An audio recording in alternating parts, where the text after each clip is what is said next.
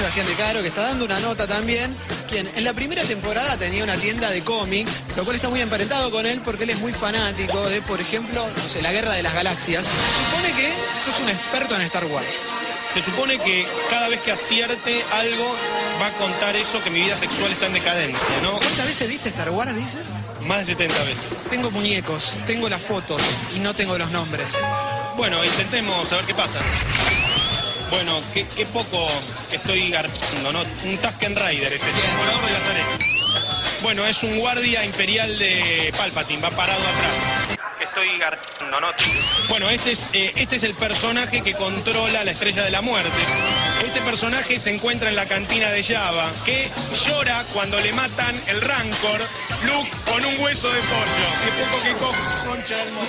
Que si ella mira ahora, nos la levantamos, no. No, no, la verdad que no, no vea. ev- evitemos este momento, ¿no? Bueno, este, no, este no sé quién es, man, toco dos tetas, no, no tengo idea. Bien, bien, ya vas por dos pechos. ¿O no es Leia disfrazada de... Cuanto más sabemos, menos chance tenemos, ¿no? Con vos.